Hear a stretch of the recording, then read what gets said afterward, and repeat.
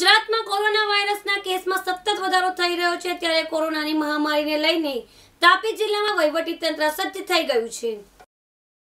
ગુજરાતમાં કોરોના વાયરસના કેસોમાં સતત વધારો થઈ રહ્યો છે. ત્યારે કોરોના સંક્રમણને અટકાવવા માટે તાપી જિલ્લામાં બે કોવિડ નાઇન્ટીન હોસ્પિટલ તૈયાર કરવામાં આવી રહી છે. વ્યારાની જનરલ હોસ્પિટલને કોવિડ નાઇન્ટીન હોસ્પિટલમાં તબદીલ કરવામાં આવી છે. જ્યારે વ્યારામાં આવેલા ખાનગી કાલિદાસ હોમિયોપેથિક હોસ્પિટલમાં સો બેડની સુવિધા સાથે કોવિડ નાઇન્ટીન હોસ્પિટલ બનાવવામાં આવી રહી છે. હાલ જિલ્લામાં બસો બેડની સુવિધા સાથે બે કોવિડ હોસ્પિટલ તૈયાર કરવામાં આવી છે. જિલ્લામાં હાલ રાહતના સમાચાર એ છે કે અત્યાર સુધી તાપી જિલ્લામાં એક પણ પોઝિટિવ કેસ નોંધાયો નથી. તાપી જિલ્લા કલેક્ટર દ્વારા બંને હોસ્પિટલની મુલાકાત લઈને નિરીક્ષણ કરવામાં આવ્યું હતું.